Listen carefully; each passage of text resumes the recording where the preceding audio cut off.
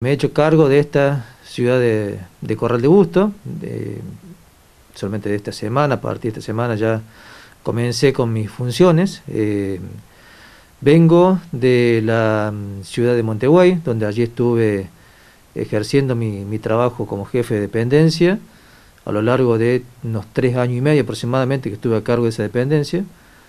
Eh, bueno, eh, la jefatura de Marco Juárez dispuso que eh, una serie de movimientos de personal en el cual, bueno, eh, me, me, notificaron para que me haga cargo justamente de, eh, de, esta ciudad. A partir del día de la fecha, bueno, ya estoy ya a pleno con mis funciones, manteniendo entrevistas con todas las autoridades, tanto municipales, judiciales, y eh, demás eh, representantes de organismos públicos.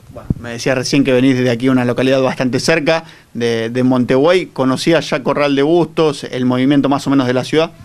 Sí, sí, es así. Eh, si bien yo tengo un contacto bastante estrecho con todos, digamos, los funcionarios policiales que trabajan en toda la zona, tengo un pleno conocimiento, o sea, de, de lo que es lo que es la ciudad, lo que es la zona. Así que, bueno, no me es ajeno y, desde ya, bueno, poniéndome toda la predisposición para dar eh, mi mejor trabajo.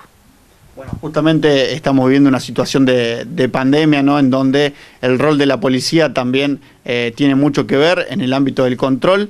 Eh, van a estar seguramente controlando, ejerciendo las mismas actividades que se venían realizando hasta ahora.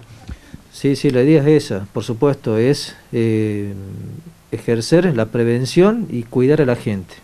Que la gente, eh, por supuesto, tiene que tomar conciencia a través de la responsabilidad de cada uno, a través de la responsabilidad de cada uno, más allá que la policía va a estar, por supuesto, eh, controlando y haciendo cumplir toda esta situación.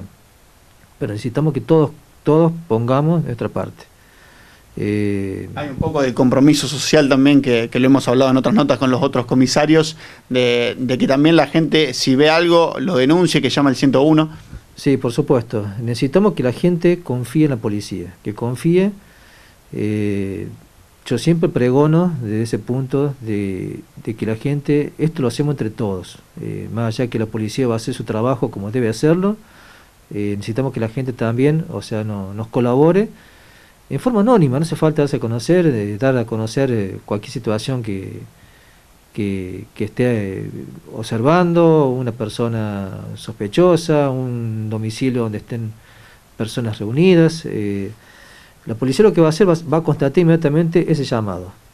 Y ahí se va a establecer, o sea, realmente si se está infringiendo un delito, una falta o lo que haya que, que actuó en ese momento. Estoy para a disposición de la gente, para cualquier entrevista, cualquier necesidad. Eh, si bien ahora no podemos mantener reuniones, porque yo lo que vengo trabajando desde hace tiempo son con reuniones vecinales, si bien en este momento no lo podemos llevar adelante por la cuestión de público conocimiento, pero bueno, a medida que esto ya se vaya flexibilizando y que podamos recuperar un poco la normalidad, vamos a estar con mayor contacto con la gente.